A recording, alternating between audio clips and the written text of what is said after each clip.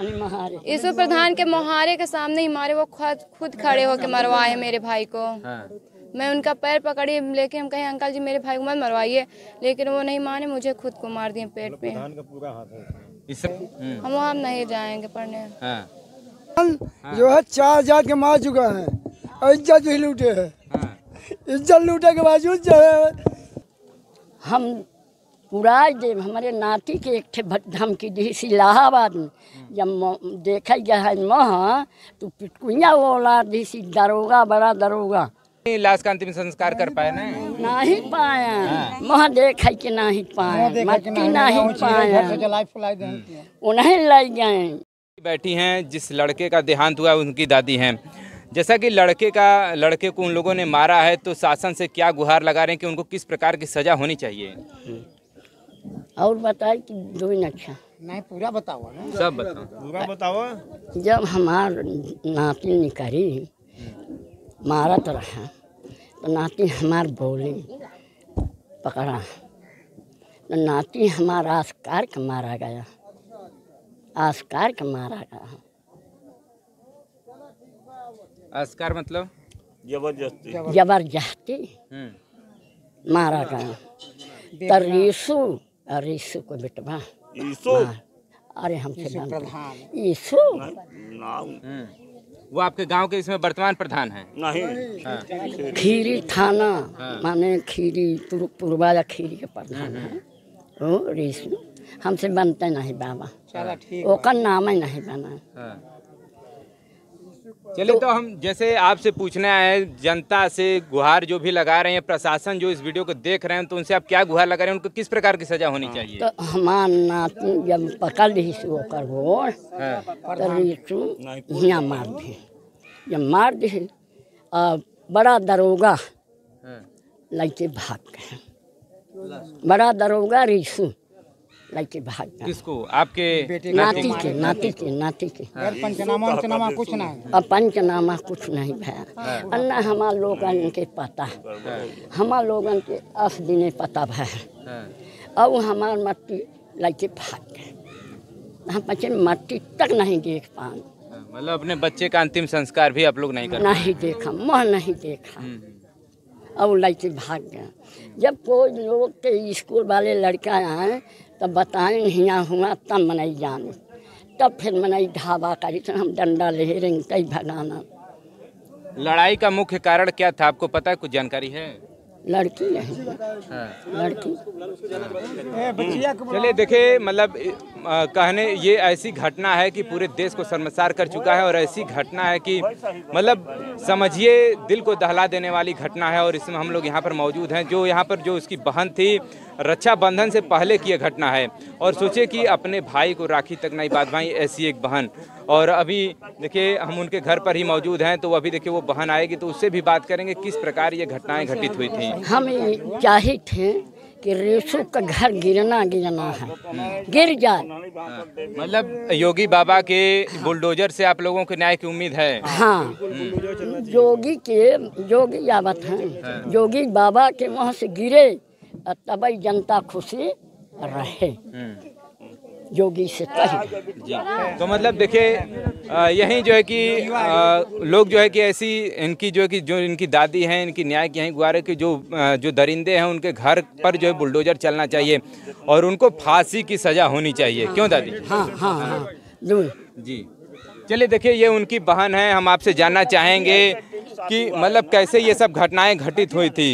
तो देखिए ये उनकी सिस्टर हैं चूँकि रक्षाबंधन से पहले की घटना है और इन्हीं के वजह से मतलब कहा जाता है कि इनकी सुरक्षा के लिए उसने अपनी समझिए कि बलिदान दे दिया।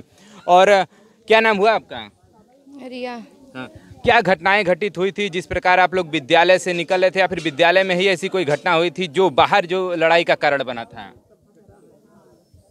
हम बच्चे स्कूल से आ रहे थे दोनों बहन भाई। तो फिर उसके यीशु प्रधान के बच्चे ने हम हमें बदतमीजी से कुछ बात बोले थे। मेरे भाई को फिर सहा नहीं गया तो मेरे भाई बोले कि मेरी बहन को क्यों ऐसे बोलते हो? मेरे भाई को मार दिए फिर। मतलब केवल बस यही छोटी सी है एक बात थी। मतलब हाँ। उसने जो है कि आपके सुरक्षा में विरोध में कुछ बोला तो उसी पर उन्होंने जो है कि मारना स्टार्ट कर दिया। और कोई वजह नहीं थी। जब वो ऐसे ही बोले मेरे मेरे भाई बोले क्यों मेरे बहन को ऐसे बोलते हो भैया? तो फिर उसने मार दिए मेरे भाई को।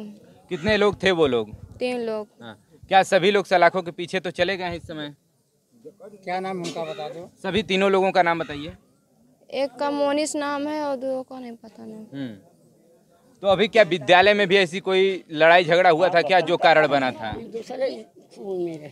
स्कूल में स्कूल में लड़ाई, देखिए, हमारे भाई थे, उनके दो दोस्त थे, अपने में ऐसे यहाँ से बोले रहे थे तो वो बोले कि, माता, चो, तुम मुझे क्यों गाली दे रहे हो? तो मेरे भाई बोले, भैया, हम आपको कहा बोले हैं? तो इतना बोले, मेरे भाई को फिर स्कूल में भी मारे थे। स्कूल में फिर धमकी दे के जब मारा तो तुमको रास्ते में बताएँगे तो फिर रास्ते में हम बोले कि ऐसे मारेंगे तो सब हम लोग पकड़ जाएँगे इसके बहन के लिए मारेंगे तो फिर नहीं पकड़ पाएँगे। तो हमें ही फिर बोले कि बदतमीजी से बात के तो मेरे भाई बोले तो उन्हें मार दिए गए। चलिए मतलब विद्यालय से कितना दूर है उनका घर? विद्यालय से एक किलोमीटर दूर है घर उसका। तो वही मतलब बीच में चेक करके फिर मार दिए हैं? ईश्वर प्रधान के मोहारे के सामने ही मारे वो खुद खुद खड़े होके मरवाए मेरे भाई को। हाँ। मैं उनका पैर पकड़ी लेके हम कहे अंकल जी मेरे भाई को मत मरवाइए। लेकिन वो नहीं माने मुझे खुद को मार दिए पेट पे। इस प्रकार की सजा होनी चाहिए। फांसी के। हम्म। उनके घर में बिल्डोजर चलना चाहिए। हाँ। मतलब यही मांग है। हमारी यही मांग है और हम कुछ नहीं जानते। चलिए अगर आगामी भविष्य में फिर से आप विद्यालय जाएँगी तो कोई सुरक्षा का आपको भय तो नहीं रहेगा? हम्म, हम वहाँ नहीं जाएँगे पढ़ने। हाँ। अब कहाँ तक पढ़ेंगी? हमारी मम्मी लोग लिखाएँगे यहीं जी आई सी पे। सोचिए डर की वजह से मतलब विद्यालय को भी छोड़ दिया जा रहा है और कहिए बेटी बचाओ बेटी पढ़ाओ का जो नारा है भारत सरकार का उसको कहीं ना कहीं भय के कारण जो है यहाँ पर धूमिल हो रहा है। और तो फिर अभी अपने नज़दीकी कोई विद्यालय होगा वहाँ पर नाम लिखवाएँगी? यहाँ भमरा में जी सी है वहीं लिखवाएँगे। हाँ। वो सर बारह तक स्कूल हो जाए। हम्म। चलिए मतलब ये भी डिमांड है कि मतलब आपको वहाँ पर सोचिए कि मतलब वहाँ तक कम से कम इनका जो ये पास में जो विद्यालय है वो बारह तक हो जाए इनकी डिमांड है। और चूँकि धमकियाँ तो मिल रही हैं अभी भी धमकियाँ उनके घर से अभी मिल रही हैं जैसा इन लोगों के माध्यम से बताया अभी भी धमकियाँ तो मिल ही रही हैं। हाँ धमकी वो लोग देते ही हैं अभी हाँ। जी। मतलब दादी आपको भी तो धमकी अभी मिला था आप बता रही हाँ थी। हाँ धमकी दे रहा बारी हाँ। हम पुराज दे हमारे नाती के एक ठे भट- धमकी दी सी इलाहाबाद में। जब देखा गया है मह तो पिटकुइया वो ला दी सी दरोगा बड़ा दरोगा। अरे सो तब मोह नहीं देख पाए। कह कि हम उड़वाए दे लाश को भी रात में ही जला दिया गया था। क्यों? कब जलाएँ पता नहीं। लहा मतलब आप लोग नहीं लाश का अंतिम संस्कार कर पाए ना? नहीं पाया। मोह देख कि नहीं पाया। मट्टी नहीं पाया। जलाई फुलाई दें। उन्हें ले गए। मारा नहीं देखन हम पची पहुँचन नहीं लगे कि कैसे किताब है। दरोगा या रेसू लेके भाग गए। ई भै कि थाने में आए।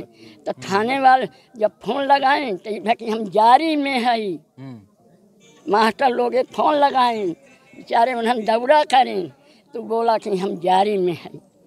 सोचिए मतलब आप हिंदू राष्ट्र की मांग करते हैं और हिंदू हिंदू का नारा देते हैं और सोचिए कि मतलब अपना एक अंतिम संस्कार भी परिवार नहीं कर पा रहा है ये भी बड़ा सोचने का विषय है। जात के मार चुका है। अच्छा। हाँ मुसलमान जो है चार जात के मार चुका है। और इज़्ज़त भी लूटे है। हाँ, इज़्ज़त लूटे के बावजूद जो है घर में रहने के योग्य नहीं रहने दे रहा है। हाँ, इसलिए भूखे प्यासे कहीं भी जाता हूँ वन विभाग। चार आदमी मार चुके हैं। पंडित बनिया पुलिस के बल्दिया आज नाव के ऊपर इतना दुर्घटना किया है। इसलिए बहुत ज़्यादा बढ़ चुका है। इसके लिए हम फांसी पूरे परिवार खानदान तक के हमको फांसी चाहिए।